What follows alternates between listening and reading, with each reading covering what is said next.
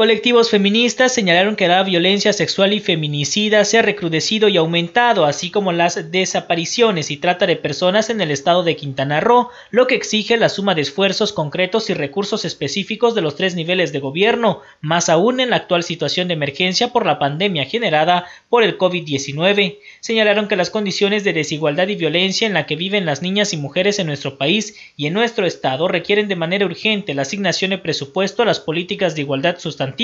que en 2020 es apenas del 0.12% del presupuesto para el Estado. Seis de los municipios de Quintana Roo han sido declarados con alerta de violencia de género contra las mujeres y dos más se encuentran en proceso de revisión conforme al mecanismo previsto en la Ley General de Acceso de las Mujeres a una vida libre de violencia. Refieren que la agenda amplia para abatir las desigualdades educativas, laborales, económicas, de acceso a la propiedad entre muchas y las violencias requieren de recursos económicos y que si bien a nivel federal la asignación de presupuestos para la igualdad reflejados en el anexo 13 del presupuesto de egresos de la federación es un mecanismo institucionalizado, apenas representa el 1.69% del presupuesto de egresos de la federación 2020. Por su parte, el presupuesto asignado al Instituto Quintanarroense de la Mujer es de apenas del 0.12% del total del presupuesto para Quintana Roo en el año 2020. Con imágenes de Osman Betancourt, Luis Más, Notivisión.